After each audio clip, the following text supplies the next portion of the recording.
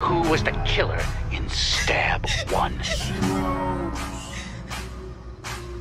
Oh, I know this one, you fuck! It's Billy Loomis! It's Billy Loomis, and he was Sidney's boyfriend, and he was played by Luke Wilson, and I got you, asshole! I got it! I got it right! Oh, I'm sorry, Tara, but that's just not correct. That is right! The correct answer is Billy Loomis and Stu Macher. There are two killers in the original stab.